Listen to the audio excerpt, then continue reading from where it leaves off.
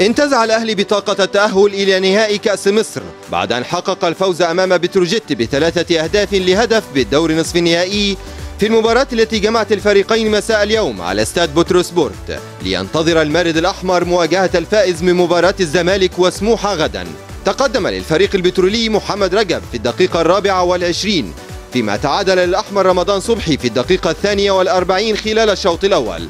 وأضاف حسين السيد الهدف الثاني في الدقيقة التاسعة والستين وعزز أحمد فتحي فوز المارد الأحمر بإحراز الهدف الثالث في الدقيقة الثامنة والثمانين.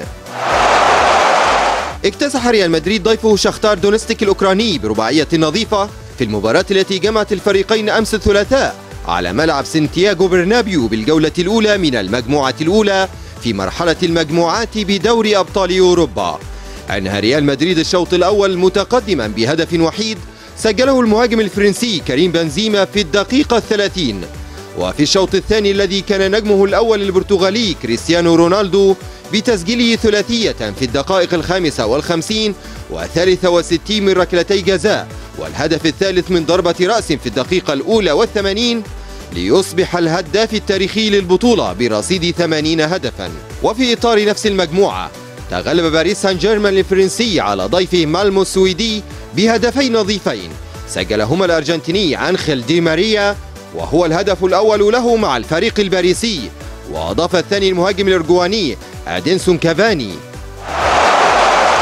حقق فريق يوفنتوس الإيطالي فوزا مثيرا للغاية على مضيفه مانشستر سيتي بهدفين مقابل هدف في المباراة التي أقيمت بينهما على ملعب الاتحاد في قمة الجولة الأولى للمجموعة الرابعة من دوري أبطال أوروبا.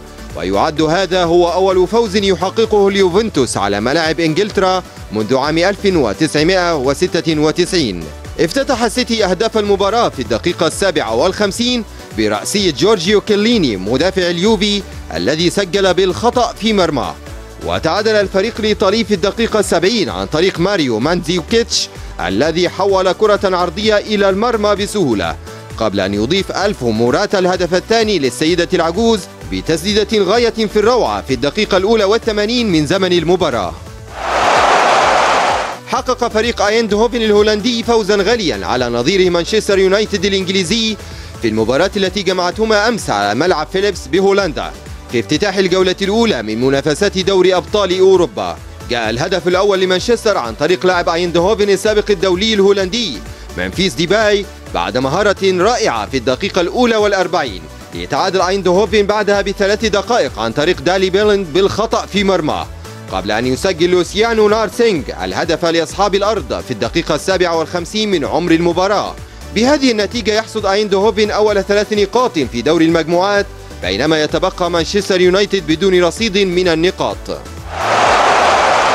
حقق فريق أتلتيكو مدريد فوزا هاما في بداية مشواره بدوري أبطال أوروبا.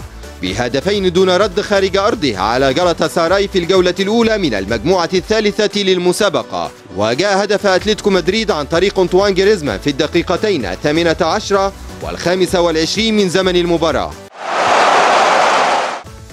كشفت وسائل الإعلام البرازيلية أن كلوفيس أكوستا فرنانديز أشهر مشجع في تاريخ المنتخب البرازيلي والكرة العالمية توفي اليوم الأربعاء عن عمر يناهز الستين عاما بعد صراع مع مرض السرطان وسافر كلوفيس إلى أكثر من ستين دولة لمؤازرة المنتخب البرازيلي في مختلف البطولات كما حضر أكثر من 150 مباراة للسيليساو أبرزها مباريات كأس العالم بداية من مونديال 1990 بإيطاليا وحتى المونديال الأخير الذي أقيم في البرازيل عام 2014 واشتهر أكوستا بالصور التي كان يلتقطها عدسات المصورين خلال حضوره مباريات كأس العالم ممسكا بمجسم لكأس العالم.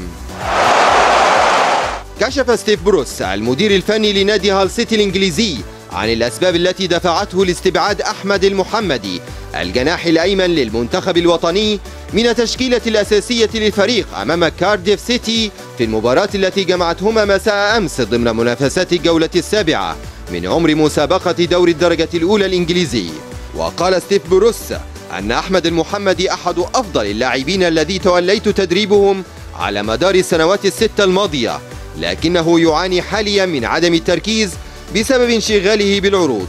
كما أضاف أن أحمد المحمدي يتلقى من وكيله اتصالات دائمة بشأن العروض التي يحظى بها والتي وصلت إلى خمسة عروض. أعلن نادي روما الإيطالي عبر صفحته الرسمية بموقع التواصل الاجتماعي تويتر أن القميص الذي ارتداه اللاعب المصري محمد صلاح خلال مشاركته في مباراة الفريق أمام فروسينوني ضمن منافسات الجولة الثالثة من عمر مسابقة الدوري الإيطالي سيتم عرضه في مزاد خيري. وأشار النادي أن قمصان محمد صلاح وأليساندرو وأخوان إيتوربي ودانيلي دي روسي سيتم بيعها في مزاد خيري يخصص إيرادته لدعم حملة اللاجئين التي أطلقها النادي في وقت سابق. قام نجم المصارعة الأمريكي جون سينا بتقديم التحية إلى الطفلة كيارا صاحبة السبع سنوات والتي استطاعت أن تحارب السرطان وتتغلب على معاناة مراحل العلاج مؤكدا أنها استطاعت إعطاء درس لكل المقاتلين داخل الحلبة وخارجها والعالم بأكمله حيث توجه جون سينا وبصحبة الأسطورة ستيف بوردن لتقديم بعض الهدايا لكيارا وسط فرحة عارمة من الجمهور المتواجد بقاعة النزال. Kiara. Yeah.